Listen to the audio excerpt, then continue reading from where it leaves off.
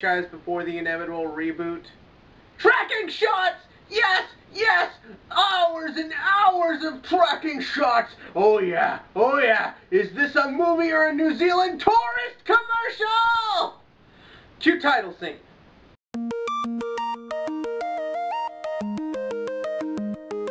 The Hobbit Battle of Five Armies is the third film in the overly bloated Hobbit trilogy.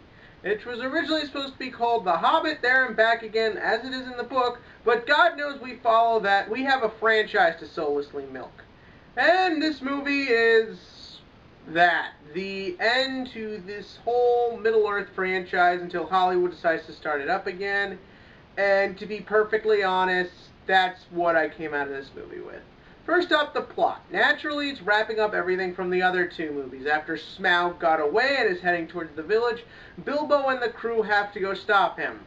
Then that happens. Movie over! Oh, no, wait.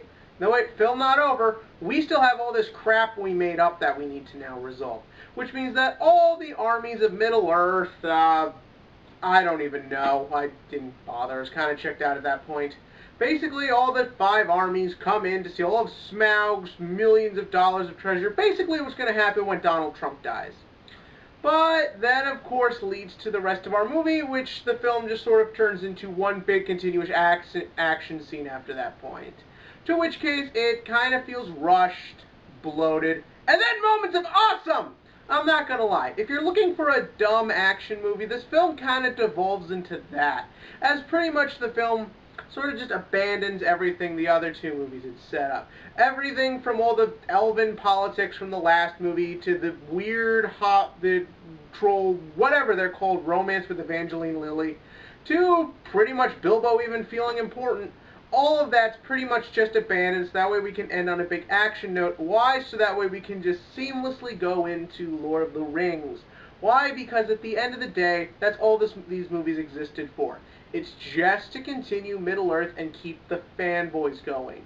That's not to say any of these movies have really been bad, but the thing is that's something you're going to notice as you're watching. There's constantly all these little nods and winks to the rest of the movies and the other three films.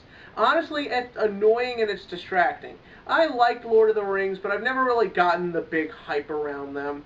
And to be perfectly honest, this film did nothing to really bring me back into it. It really didn't do anything to make me feel anything for these characters. The action was cool, it was exciting, I liked it, and the film is very fun and enjoyable. Is it 2 hours and 25 minutes enjoyable? Not really.